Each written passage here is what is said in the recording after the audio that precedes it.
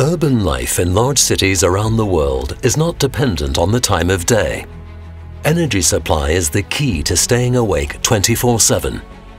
Millions of light and electrical equipment in office areas, illumination and advertising in the streets are mass energy consumers.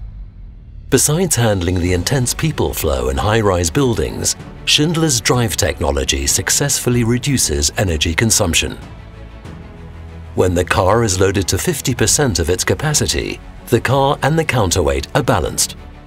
A minimal amount of energy is required to overcome the acceleration and friction to drive the car and the counterweight.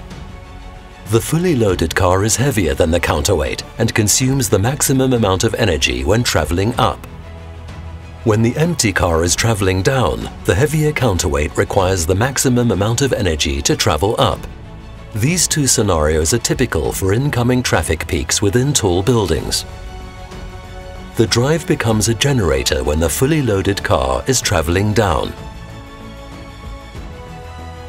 The same when the empty car is traveling up and the heavier counterweight is lowered. The generation mode is typical for outgoing traffic peaks within tall buildings. Schindler's regenerative inverters operating the entire range of the permanent magnet drive machines all greatly contribute to the green elevators of all high-rise buildings in global cities.